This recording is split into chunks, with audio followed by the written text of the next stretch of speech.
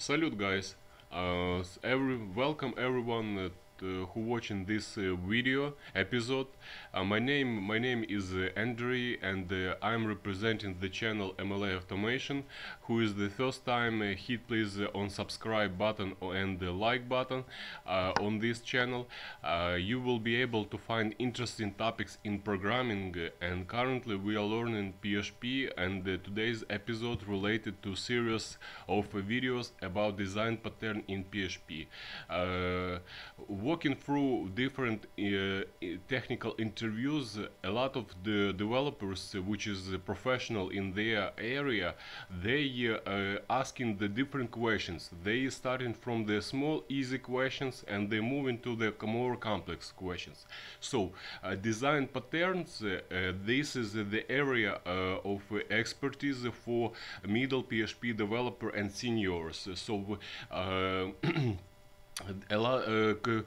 uh, on the interviews uh, when the people asking the questions related to design patterns they considering you as a middle or a senior php developer. They want to know the your endpoint in the top of your knowledge. So uh, very important to know, to know and understand design patterns uh, because uh, this gives uh, additional profession additional boost of your ex- experience and this impacts on your code. So more design patterns you know more you using in your work the better your code becomes. And in the future when the other people other developers when they looking on your code they, they more uh, likely going to understand you, what you wrote and what stand- standards you are following. So to so uh, we're going to bring on the table uh, next pattern in the structural group. So there is a creational group of design patterns structural and behavioral. We are slowly moving from the one to to another. First we covered uh, in the previous episodes we covered creational patterns. Now we are uh, go speaking about the structural patterns. And uh, uh, specifically today we're going to sp- talk about the facade. This pattern is uh, very important it's easy to understand and very important since uh, a lot of uh, frameworks such as laravel they are using this pattern in uh, inside their ke- kernel. So the design pattern facade uh, analogy. Let's talk about the analogy of this pattern. For example uh, how do i uh, turn on the computer? For everyone uh, tackled uh, the with the computer. And we all know that we there is uh, some some some elements inside the inside the computer which gives um, ability to work with the different uh, prog- programming uh, software, uh, also with the different soft uh, uh, the programs and the everything uh, every computer has cpu uh, also has uh, memory also has uh, hdd and the mother motherboard and uh, they somehow they connected and they uh, transferring the data between uh, the different points. So all this uh, uh, logic is very complicated. And we usually doesn't know doesn't need uh, to use to know how these compli- uh, complicated uh, connections. So that's why uh, facade design pattern he allows uh, to have uh, like uh, only ability like start button. We are clicking on the computer on the start button and we are in this case we uh, launching the computer. He making this he is loading he is open different programs and we starting to work with those programs. So let's imagine that the computer it's a facade. Behind this facade uh, we have an, a lot of different classes and uh, uh, the different logic complex logic and we don't touch those logic we need to only to have interface and access to this facade to the start button and to the stop button. That's it.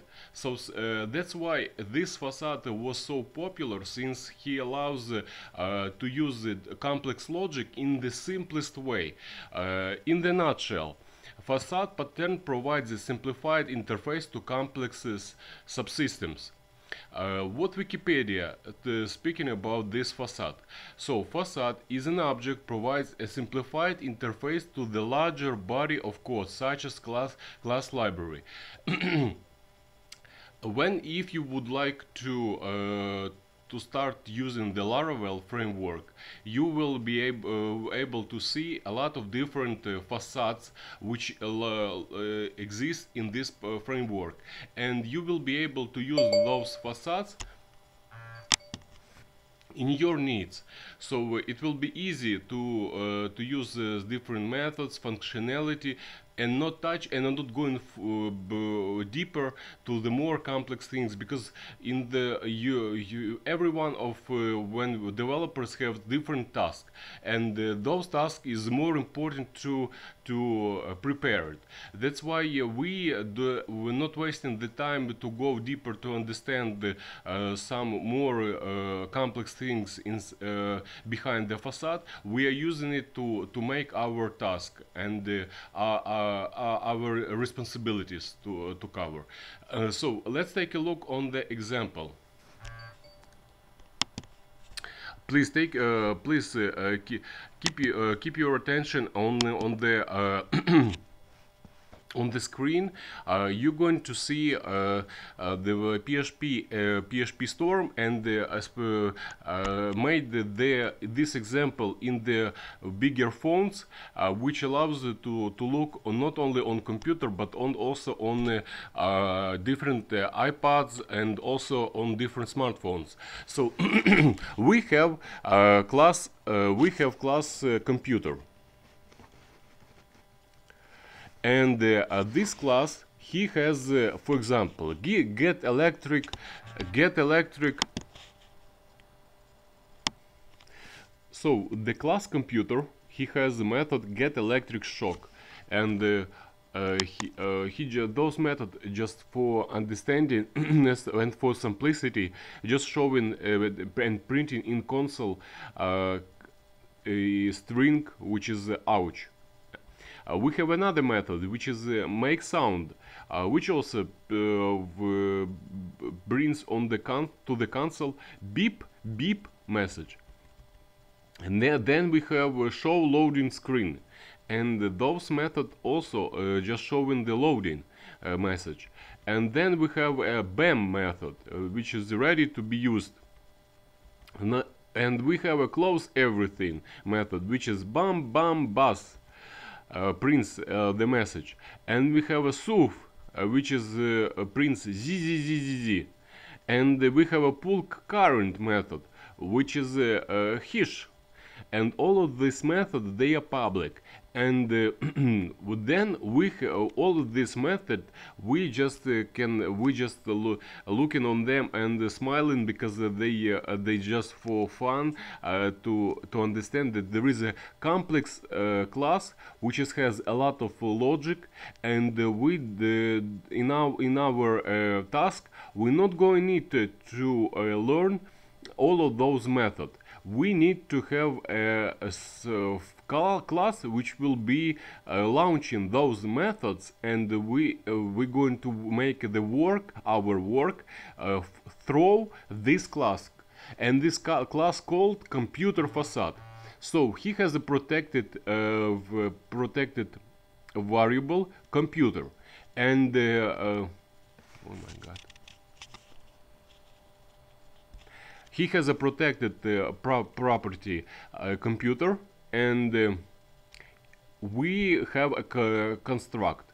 So we injecting the computer object uh, to the our class computer facade and we uh, implementing this computer object to our property computer inside this computer facade in this case uh, computer object will be available in uh, uh, everywhere where we're going to uh, use computer facade So uh, this method has uh, turn on methods, very simple, and he uh, basically he is uh, launching, he is executing this uh, method.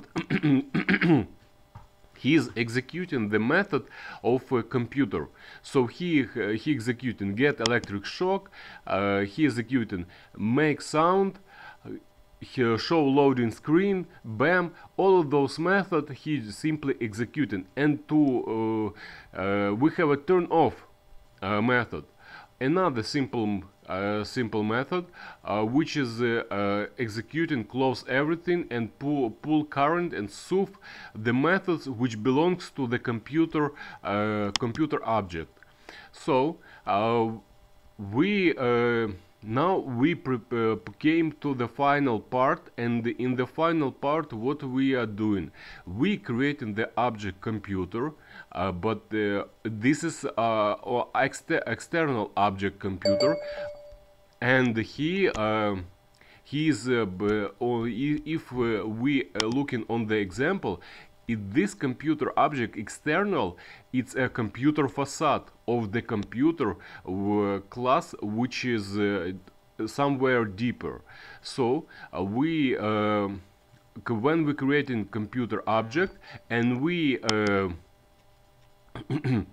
uh, when we creating computer object of uh, facade we giving the argument as a uh, object of a computer and now this one is computer facade. Computer facade uh, for we, we can write computer facade this is for case if we don't uh, fully understand the, the uh, sense of uh, using facades. But when we and lo- look look at before on the co- code and the, walk through the computer computer class also we walk it through computer facade we now understand that computer actually it's facade. Object this object computer it's facade for uh, our uh, class computer. And uh, we don't write in we don't write facade. We just simply saying in computer okay?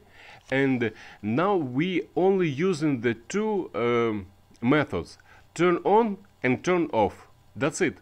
So you see, uh, our task is simply to start launching uh, to la- launching the computer.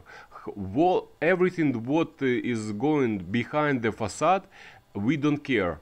We don't look on there because uh, our task is simple. We need to uh, simp- uh, simply to launch the method turn on turn, turn off and uh, all logic will be run, uh, uh, put it on the facade computer facade this one so this is this example very uh, uh, uh, ve- very brightly showing how facade important when we go want to hide the complex things which we're not going to use directly. We using them th- th- through computer facade or from facade design pattern and that's why since he is very simple and at the same time he is uh, making his job very well a lot of uh, developers they like to use uh, this facade in uh, their tasks. Uh, it's uh, easy to implement easy to understand and easy easy to maintain in the future.